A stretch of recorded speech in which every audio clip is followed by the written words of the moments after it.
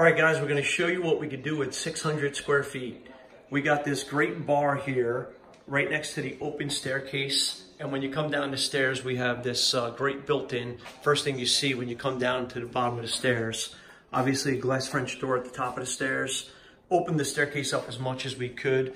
Uh, what's great about this little counter right here is we didn't want to come out 24 inches, uh, but we needed 24 inches to fit this wine fridge. So we actually recessed that into the wall. I'll show you that as we swing back around.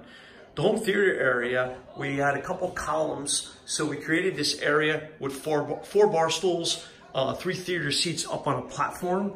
As you can see, as we spin around here, and then another uh, two seats here on the ground. So it lays out really, really nice. And uh, this layout was challenging. We were trying to get a lot of stuff into a, a little space here. And then they also wanted a gym. So we, we angled this wall and put these glass French doors going into the gym.